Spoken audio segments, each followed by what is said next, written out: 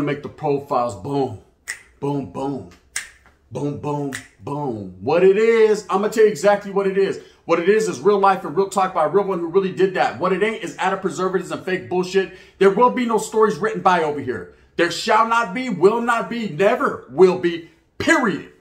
Sorry, Tony. Fuck out of here, right? We're talking about real life and real talk. And as you can tell by the thumbnail, we're going to talk about lies. The movie American Me told. Simon, American Pinche Me. Real talk and real life. Let's get into it. Um, now, you can tell um, anyone that knows what's up knows that the movie American Me played a very intricate part into Chicano culture. The cultura wouldn't be the pinche cultura it is now without the movie American Me. In the early 90s, we had nothing, Holmes. We had the Duke, Duke, Duke, Duke, utterly Duke. You know what I mean? Hey, can I borrow some money? Right? Fuck you, Ranker. And over there we had fucking Boulevard Nights and a few other little movies. That's all we had, Holmes. That's all we was worth. That's just all we can get. Hollywood wasn't fucking with no Mexicans, man. But all of a sudden, oh yes, all of a sudden someone had a dream. They had an idea, man. They had a, a, fruition or whatever you call it, right? And they came out with the movie American Me. And I remember when the movie American Me came out, so I was get everybody was hooked on phonics. Everybody wanted to see it. Ain't nobody talking when I'm talking, fellas. So shut the fuck up. Hooked. We all sat our asses down and didn't talk, right? Because you said don't talk. Orale, that's the type of people we are. We listen. Um, so we all kicked back and watched it.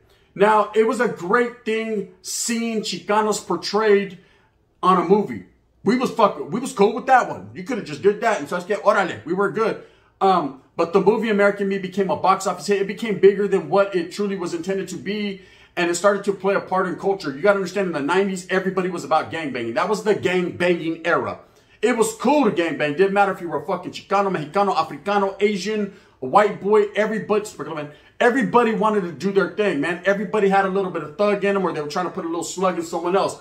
It just was what it was. This is when drive-bys were happening. This is when walk-ups were fucking taking place. This is when fools were getting popped nonstop. Nowadays, I can't call it like an alcoholic. They're still doing it. They just got different haircuts. But back then, man, it was a whole lot different. Everybody thought it was cool to be a gang member. They thought that you were the one and you were all about your pride for your people. You were all about your barrio or your hood or your clique or your street or your village or your fucking turf or whatever you called it, right? At the end of the day, you were repping and you were repping hard. In a movie like American Me, coming out and showing prison politics and showing the true nature and the existence of an organization and how it was founded. And people took that fucking to heart. I took it with a grain of salt, and I'm gonna tell you why. Boy, not then. So I can't take it too hard too. Órale, con un big corazón. I was like, brown pride. Órale, I still am, right? Um, American me. But back then, I didn't know better. Now that I know better and I'm gonna grow an adult and I've actually been through that same prison system that this movie was portraying, I'm gonna tell you about all the lies. Mm-hmm. Órale. For those of you that have not been incarcerated and don't know, oh, there was so much bullshit in that movie. Now you gotta understand. Hollywood is Hollywood. Them vatos lie more than the president right there.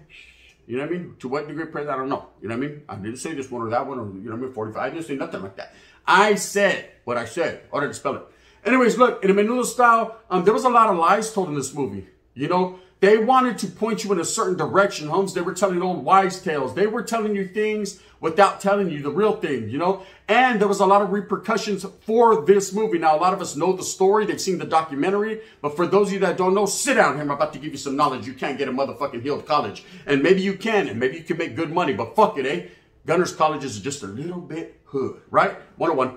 So anyway, sit down and enjoy. Go to pinchy popcorn or fucking chicharron. Now, look.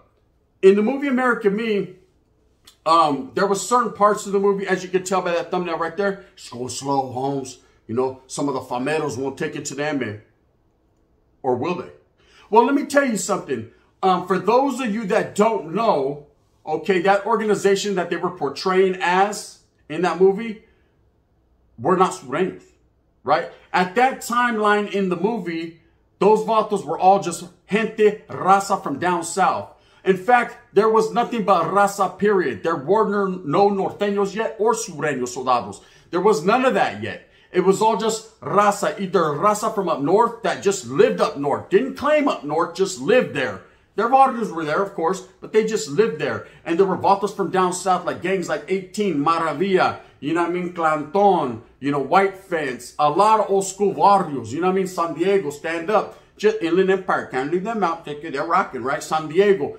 All these barrios, but nobody was claiming norteño and sureño. So they weren't just a bunch of lame farmers from the north because they were just a bunch of gente.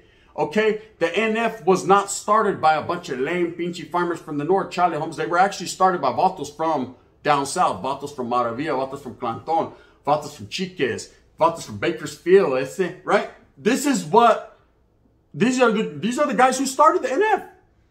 So that was a lie that the movie told.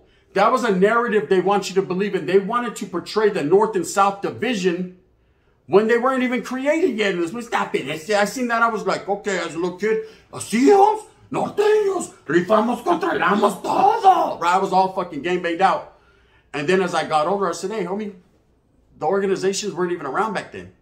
You know, I mean, the, the M was, but the NF was not.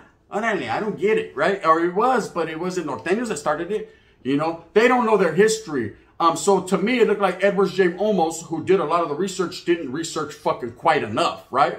He was just putting two on the 10 or 10 on the two. Bitas, whatever the case may be, man, he fucked up. Holmes, you know you fucked up, right? Another part in that movie um, that was highly, highly disrespectful was, um, of course, the juvenile hall scene where the Vato gets to double up, uh, uh, right? Nah, that never would never happen. Never, ever, ever in the lifetime, right? First of all, Vatos ain't doing that shit no dog, right? Second of all, um, it never happened. And to misconstrue as such as someone that high ranking or someone that they were trying to portray that got fucking uh, manhandled and got his uh, manhood taken was a lie. Why they incorporated and added that to the movie, I have no fucking clue or no idea. I thought that was the dumbest part of the movie. Even now, to this day, kill him, kill him, right? I always look away. I couldn't, when he cuts his lip, I was, I just can't do that, right? Um, I don't know why they put that part of the movie. I understand that they try to portray it like, okay, he came back, he, he hit rock bottom. So I was going, or someone else hit his rock bottom, right?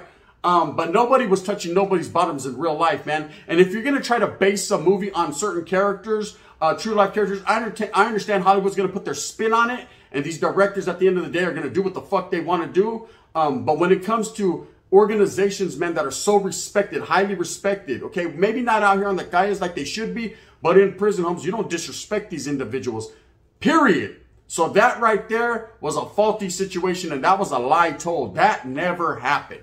Mm-mm. Okay? Never, period, plain and simple. Okay, it portrayed this movie three individuals. And basically it wanted to show their lives.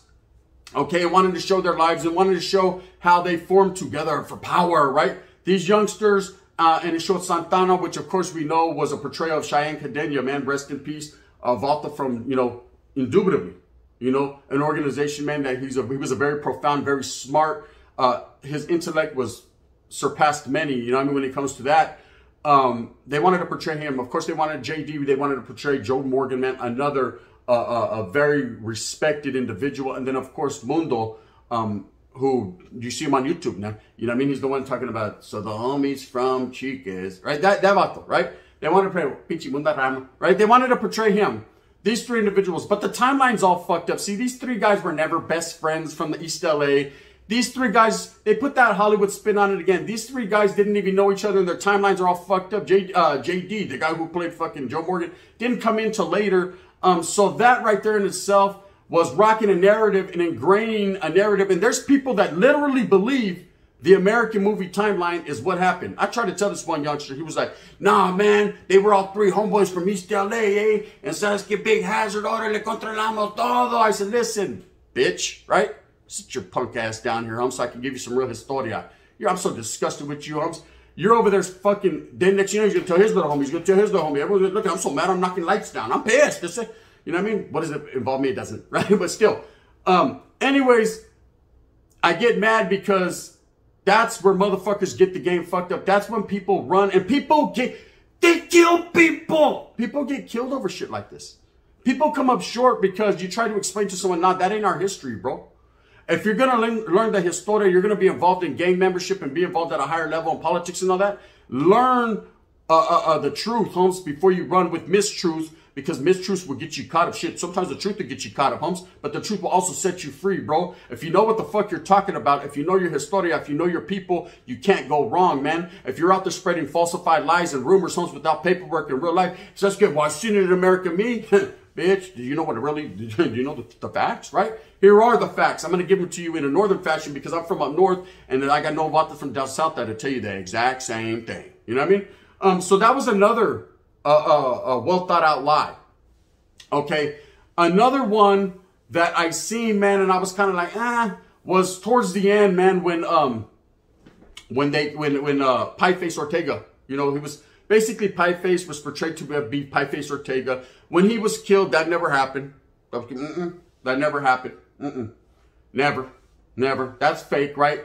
Um, you got to look into the history of that certain organization, man, and and you will learn the details, man. Of course, they used a lot of what ifs and they used a lot of becauses and they used a lot of maybes. Um, but maybes don't count in fucking real life. You know, maybes that get you killed, and it did get a lot of people hurt. Okay, another one of the things that uh, I didn't like was showing Vatos fucking in Italian. Orale. Vatos aren't in there fucking fucking you because you fucked up. Vatos will just hit you. They'll just whack you, homes. They're not gonna fucking hit you. They it seemed like they try to tear away a fucking Chicano or Mexicano's uh, uh, uh, man the, the man side of them. They try to turn them into some type of fucking jotito. I didn't like that. Okay, if the Vatos are doing what they're doing, they're doing what they're doing, but um, they kept portraying that. Just like they portrayed when Santana flipped the chick over, he was trying to do it. Like they wanted you to think that that's all we were. We were beneath ourselves. We were fucking a lower standard of human of living. Um, that's not true. Okay, another false narrative that they rocked in there was when they showed the Southsiders versus the Blacks, homes. I ain't going against the guns. Let me tell you something. One, no, no, First of all, why are they the only ones walking on the theater? Why is everyone else still locked in their cells? Come on now, stop it, right? I'm just being real here. I know it's Hollywood, it's a fucking movie. Hey, it's a pinchy movie, gun, stop it. No, at the end of the day, when a movie is basing it on a true story or real individuals, homes, you have to get it as accurate as you can because spreading, spreading false narratives is what gets people whacked. It's happened in prison time and time again. People go out there like, yeah, yeah, that homeboy right there, Holmes, he was fucking his old lady. When real life, Holmes, he wasn't. It was her, her sister who was righteous, right? But homeboy tripped, my old lady? So you know, he's getting whacked. He's getting moved on, Holmes. He's getting hated on. And all along the line, it was that was his fucking brother-in-law, Holmes. They were probably eating tor uh, tortas and tacos together two weeks prior. It's just, you got to keep it real in real life because people get hurt over certain situations. Now, my arm let me hit you real quick because I'm real. Now let's get to it. Um, one of the main things in that movie that um, I think was a very big detail they put in, which was false as fuck, was when at the end Santana gets hit by his own organization and thrown over the chair. Now, this was supposed to portray his death, okay? And they did a good job in Hollywood showing that. You know, Vato getting whacked and thrown off the tira, but at the same time for showing weakness you know, they kind of had that right. I don't necessarily say weakness. I didn't take that individual in real life for a weak person. Anything I've researched and looked into it, Cheyenne Cadena was as solid as they come. He was a visionary who had an idea to bring raza together, sort of like Salvato named the gunner. Maybe I hope they don't fucking hit me and throw me out the theater because I ain't trying to go out like that. But, you know, one never knows, does one. Menudo. I might be fucking menudo on the ground. Um, this never happened. Okay? Um, he was hit. He was uh, hit in Palm Hall and Chino, um, but it was done by the uh, the other faction, the, the opposition, the other side, right? The Vatos that were from up north, as well as individuals that weren't, um, that were just part of an organization. Okay, um, to that point, they had been warring, but you had lost no soldados on the MS side, man. Um, so when they showed the scene in the in the movie theater, Vatos getting hit and shit, they were just trying to show you the lightweight tension between the NF and them. And I understand that, um, you know, and I'm not, and I'm not saying that these organizations even exist. I'm saying that this is what they were showing. Now, I thought it was a bad look because they were showing the existence of or two clandestine organizations that up until that point of American Me were kind of quietly spoken on. No one really said these. They weren't household names. When they said that, I had my little primo running around. Hey, I'm Santana Holmes. I'm a, hey, I run Folsom Yard. I'm from the Mexican Mafia. I was like, God damn, bro.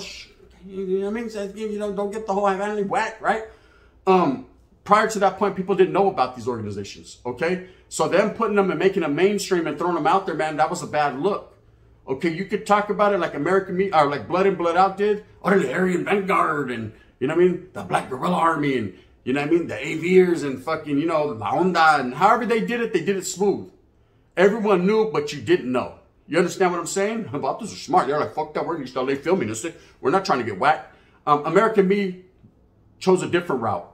They chose to mix reality with fucking fiction. And when you do that, like I said, real people get hurt. And so what were the results and the repercussions for this movie? For those of you that don't know, I know most do, real people got hurt. Real people got hit. There were several individuals that were hit because of the disrespect or allegedly, or maybe not, you know? Um, either way, people died as a result of this movie.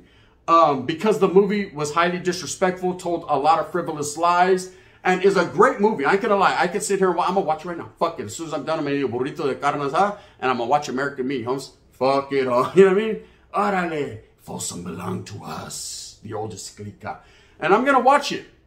Um, and I enjoy it for what it is, is a movie. Okay? Just a movie.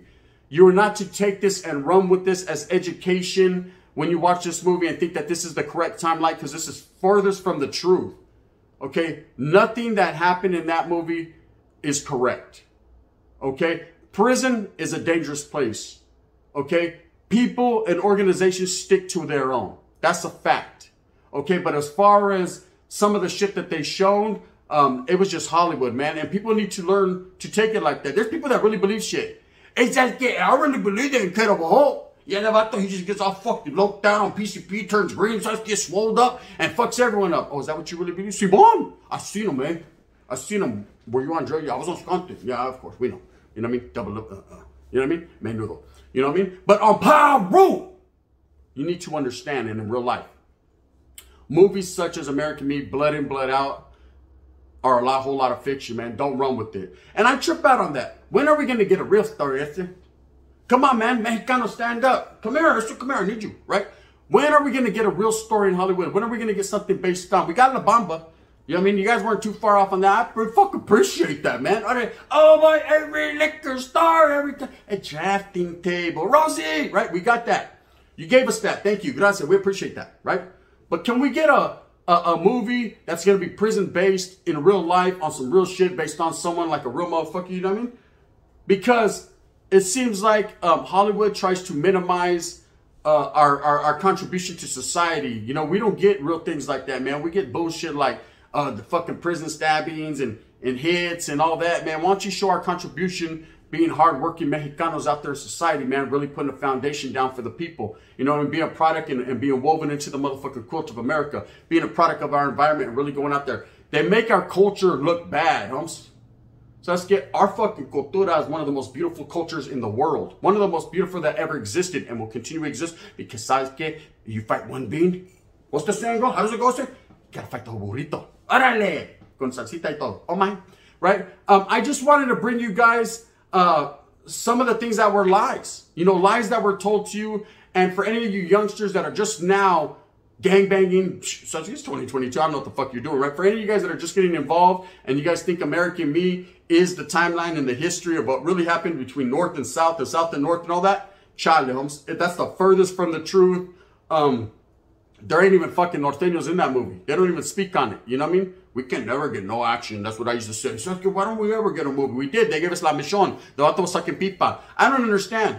You know Fuck, eh? Why you got a clown? It's, it's just a fact. Anyways, with that being said, I just wanted to give you guys that, some of the facts, some of the realness, none of the bullshit, no added preservatives. Hey, leave it to Tony. He'll tell you it was real to the T. It was just perfect as he's on the phone with some that's lying to him. Anyways, with that being said, I hope that you move smooth with a purpose. I hope that you get everything that you want coming to you. Remember, at the end of the day, gente, it's all about you and your familia and the real struggles of real life. If you really want to learn something, open up a pinchy book, comes and educate yourself into the cultura and the historia of our people. That's the righteous way. Learn some Nahuatl, homes. Study, you know what I mean? Learn the dialects. Learn things that'll help you in life, man, to become a smarter man. Learning your history, bro, is a rich thing. It's a very educational thing. It's something, man, that you need in your life. I promise that. It makes you a better man and woman. Do that one time for your mind. Show your kids the right way. Not pinchy American me, homes that's gonna fucking show them how a fucking Italian can take you. Take you, you're the bitch. Con arroz, con leche. You know, puppet was right there. Pinchy puppet. Anyways, if you like this, please hit that like and subscribe. If not, you can hit that thumbs down. Heavy as the head that wears the crown. I'm going to continue to strive and struggle and bring you the best possible content I can on YouTube because that's what I does. Because, you know what I mean? Oh, bro. I got the tapes. Did you see that right there? Going to the beach. It was either fucking dirty lint like or an orb. Probably the Italian that got fucked.